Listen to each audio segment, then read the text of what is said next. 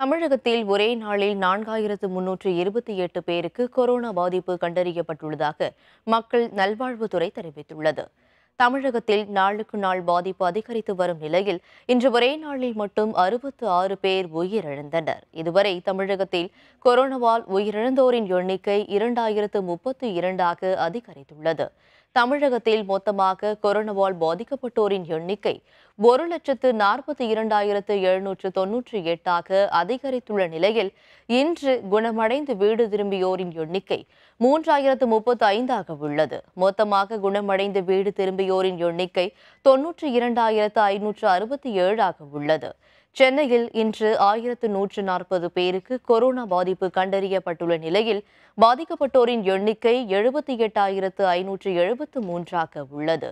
சென்னையில் கொரோனாவால் இன்று இருபத்தி நான்கு பேர் உயிரிழந்த நிலையில் சென்னையில் இதுவரை உயிரிழந்தோர் எண்ணிக்கை ஆயிரத்து இருநூற்று எழுபத்தி ஏழாக அதிகரித்துள்ளது.